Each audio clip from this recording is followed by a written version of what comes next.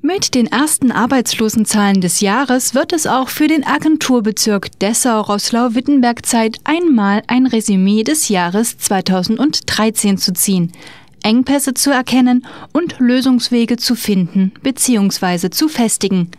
Alles in allem kann die Agentur für Arbeit im Bezirk Dessau-Rosslau-Wittenberg zufrieden mit dem Ergebnis sein.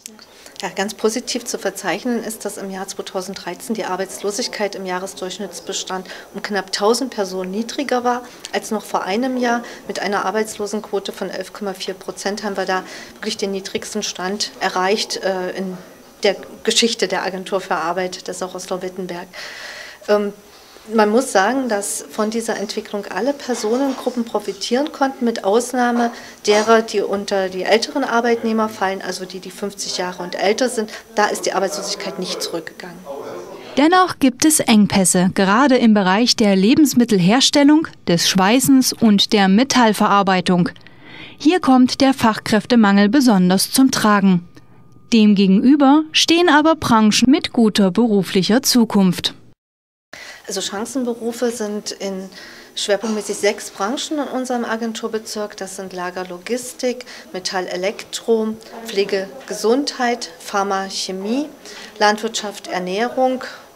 Ja, da in, wenn man in diesen Bereichen arbeitet ähm, und den Einstieg findet mit seinen Tätigkeiten, hat man auch Chancen auf eine gute äh, gute, stabile Arbeitsverhältnisse und sicherlich auch eine persönliche Weiterentwicklung, weil 50 Prozent unserer Unternehmen, die wir im Agenturbezirk haben, zu diesen Branchen zuzuordnen sind.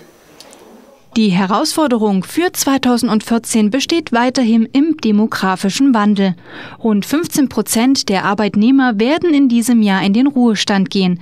In Hinblick auf die Tatsache, dass 95 Prozent der Betriebe im Agenturbezirk mit weniger als 50 Beschäftigten auskommen müssen, entsteht ein Defizit, was die Fachkräfte angeht. Bewährte Lösungsansätze sollen dabei weiter fortgesetzt werden, wie die Arbeitgeber für die Generation 50 Plus zu sensibilisieren und das Programm für junge Erwachsene bis 35, welche ihnen eine Erstausbildung ermöglicht, sollen dem Fachkräftemangel entgegenwirken. Dazu kommen intensive Bemühungen bei der Berufsorientierung, um Ausbildungsabbrüche zu vermeiden und um den jungen Menschen eine Perspektive in der Region zu geben, frei nach dem Motto Regionale Ausbildung bedeutet regionales Leben.